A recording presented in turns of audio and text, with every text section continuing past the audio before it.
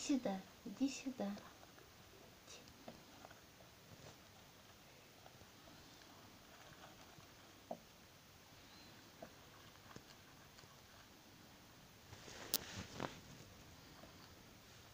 Ты уже снимаешь, да?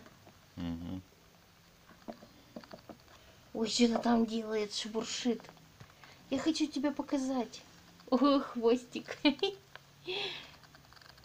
Эй.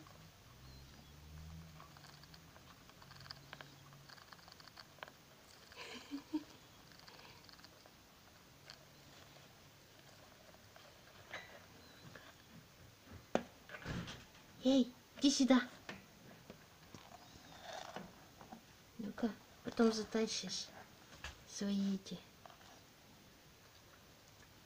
Сними крышку, да и все. А, точно.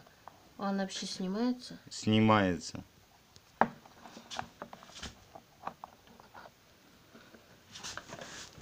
Эй. Вот такой вот новый питомец у нас.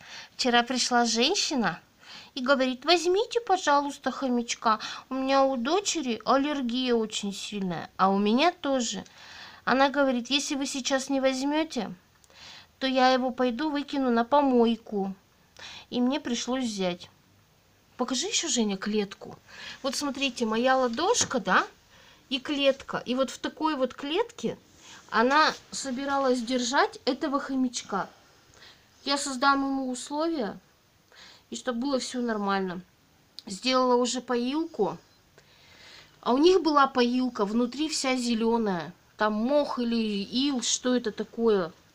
Вот. И я решила, что этого хомячка я больше никому не отдам. Теперь у нас новый питомец. Она еще говорит, что она хотела подкинуть, но посчитала, что на улице холодно и решила зайти в магазин.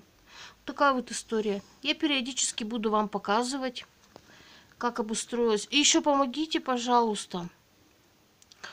Э, Я хотела бы придумать имя, но не знаю какое. Напишите мне в комментариях, как можно назвать хомячка. Это девочка.